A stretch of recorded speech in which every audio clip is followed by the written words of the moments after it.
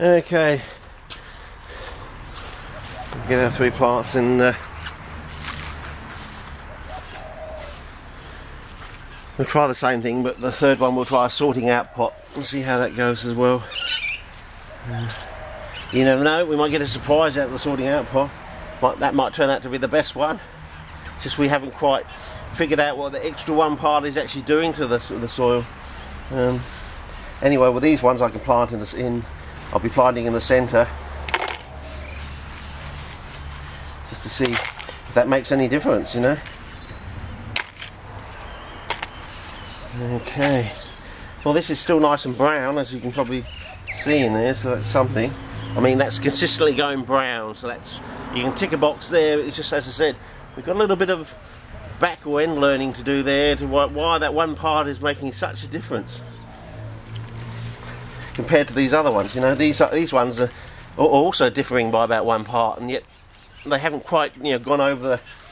They saw, saw some demarcation point or delineation point that we haven't quite figured out what that really is all about. I assume it might be important.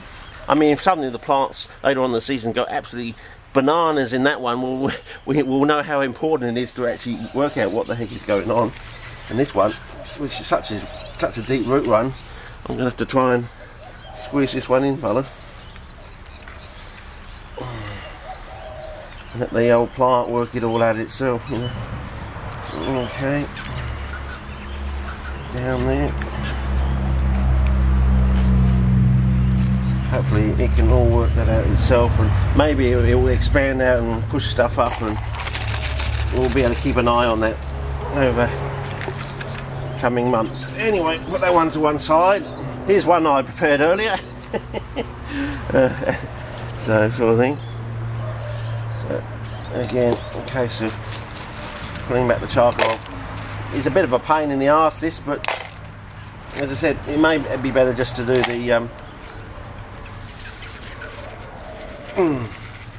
you know, the prepare it hot idea. It may be a, we'll just to see how that works over time. But uh, yeah, not so bad. Uh, you expand it out a bit. Wrap this one in. Mainly roots everywhere, this one. Uh, get those roots down. See how we go.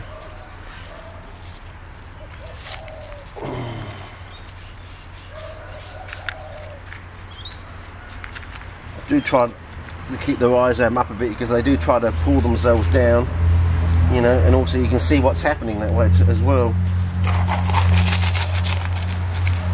Yeah I'm just trying to make it as best I can because there'll probably be heavy rains coming fairly soon now as we get we usually have one we have two basic heavy rains.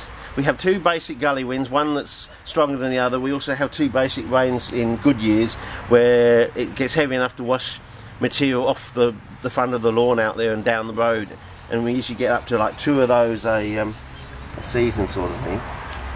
So anyway there's that one. Put that one to one side.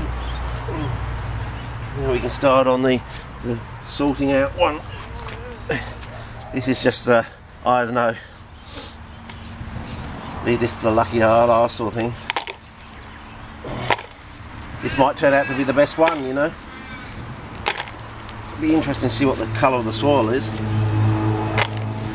No, oh hang on, that's, sorry. Uh, no, it hasn't really gone brown on the outside, so maybe that's an important point. But basically it's just sand in the centre here, fellas. So um, maybe that was a good idea with all the sorting out, not to do the centre. So, uh, oh, and it, oh, and it's, it's a bit